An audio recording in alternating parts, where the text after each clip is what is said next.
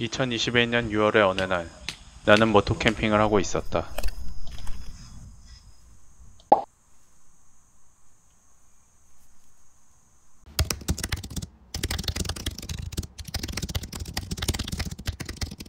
얼마 전 알 수 없는 유튜버의 알고리즘이 자전거로 전국 일주를 하는 채널을 소개했고, 2시간이 넘는 긴 러닝타임에도 불구하고 앉은 자리에서 다 보게 되었다.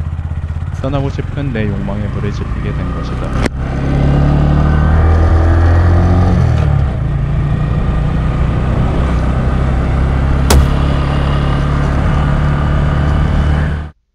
나는 전부터 집 주위의 흔한 자연이나 지형을 색다른 시각에서 재조명하는 짧은 영상들을 촬영하곤 했는데 거리상의 이유로 집 주변에서 당일 왕복 가능한 거리로 내 활동 반경이 제약됐었다. 그러나 캠핑을 통해 내 활동 반경을 넓힌다면 새로운 도전을 할 수 있을 것 같았다. 본격적인 캠핑을 하기에 앞서 내가 가진 캠핑 용품들을 점검해 본다. 방수천, 은방 매트, 텐트, 한국에서 제일 많은 침낭, 발포 매트리스, 다이소 의자, 단조팩과 카라비너, 방풍막, 가스, 가스, 스토브와 스토브 이빨, igniter, 가스 어댑터, 스토브와 세트인 쿠커, 프라이팬, 컵, 조명, 조명, 조명, 수저, 테이블, 가스토치, 손도끼, multi-tool, fire stick, 모기향, 찜기, 아니, 화로, 아니, 찜기가 맞다. 자충 베개, 오징어 팩과 실리콘 도마. 여기까지가 내가 준비한 용품들이며 내일 떠날 캠핑 tutorial을 통해 추가 물품을 구매할 예정이다. moto camping tutorial 장소는 초평 밤나무 캠핑장으로 선정했다. 이유는 집에서 가깝기 때문에 부족한 물품이나 식량 보충, 장거리 이동 시 발생할 수 있는 사고 등 변수에 대응하기 쉽다고 판단했기 때문이다. 위성사진 외에도 거리뷰를 통해 이동 경로나 지형 지물을 파악해 보도록 한다.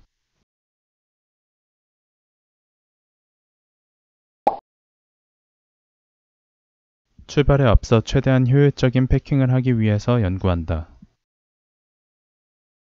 부피가 큰 매트리스와 텐트는 배낭 외부 스트랩으로 결속하고 내부에는 가장 먼저 가볍고 부피가 큰 침낭을 넣는다. 등 쪽에는 테이블과 도마를 넣어 가방 각을 잡는 용으로 썼으며 중앙에는 요리에 필요한 용품들을 위치시켰다.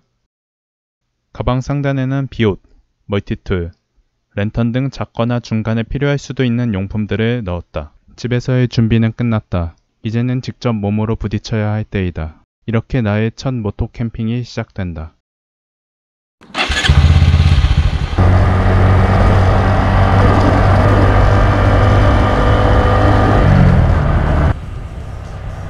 가는 길에 위치한 아름다운 구곡리 돌담에 잠시 속도를 줄여본다. 임씨의 집성촌이기도 한 이곳은 고려시대 이면 장군의 출생지이기도 하다. 주변에는 은진 송씨 열녀문, 임수전 부자 총신문, 최유경 부자 효자문, 동양에서 가장 오래된 돌다리인 농다리가 있다.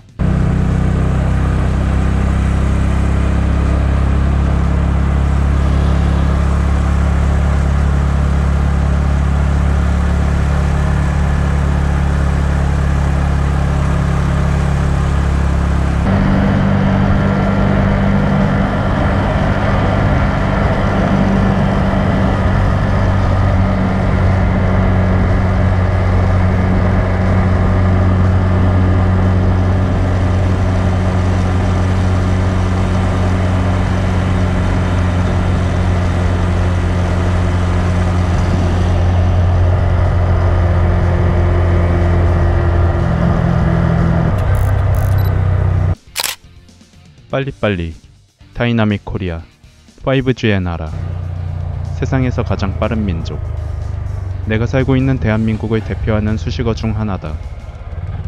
주변의 많은 이들이 남들보다 한 발 앞서기 위해 열심히 달려나갈 때 나는 여전히 나만의 시간에 맞추어 천천히 걷고 있다.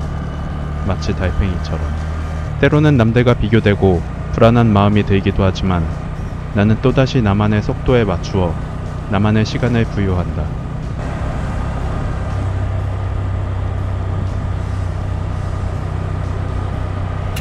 때론 갈림길에서 고민하게 되겠지만 아니다 싶으면 돌아 나와 다른 길을 가면 된다.